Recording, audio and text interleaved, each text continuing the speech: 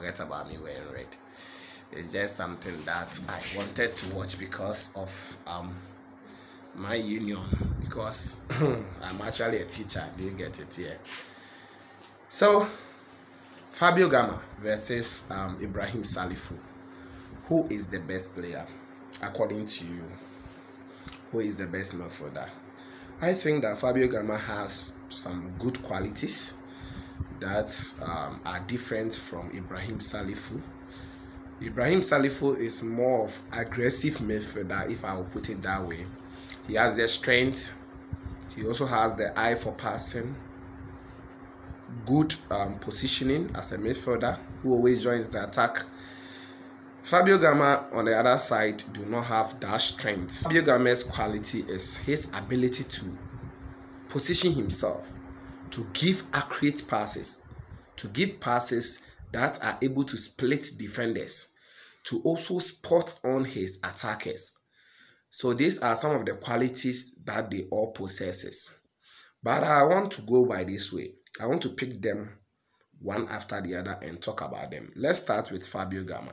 As I told you already, this is our first stream, so forgive me if the quality of the video is very down and the background too is not that good. I'm just trying something out. Okay.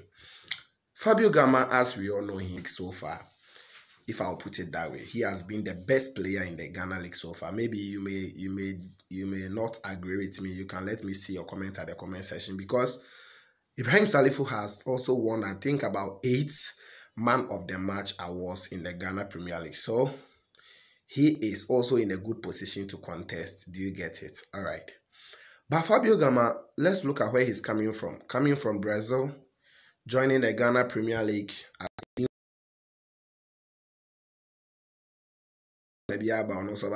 but when he came, he has proven almost everyone wrong. Forget about being a House of Folk or being a Kotoko fan. Fabio Gama has proven almost every supporter, every Ghanaian Premier League um, presenter or journalist wrong by his performance. He came in, he was sitting in the stands, taking Sobolo and pitch. When Fabio Gama came, we all we have all seen what he is doing. He has performed very, very well in the Ghana Premier League.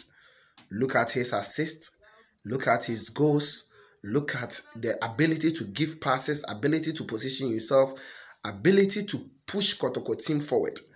Not considering the pitches that Fabio Gama has been playing on. So I think so far so very good for Fabio Gama and the Kotoko setup this season. Ibrahim Salifu, superb performance for Accra Suffolk. You can't take anything out of him because he performed even better.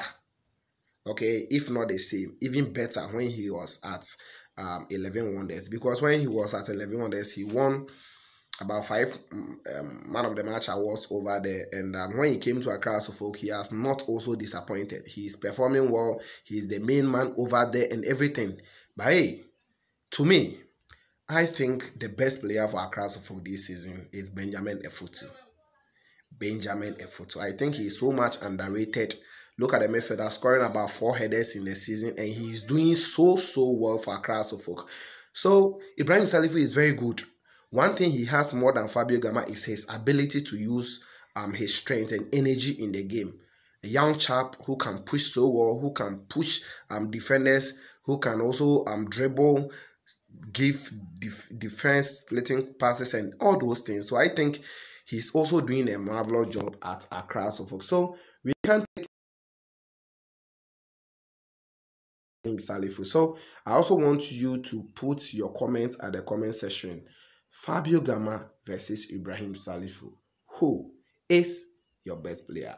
They all have different qualities as midfielders, but I just want to say who is your best player in the Ghana Premier League. Thanks for joining this feed. As I told you, we're just trying out something to see because we will be streaming live matches for you on this channel. Thanks for being here, and um, we'll meet later.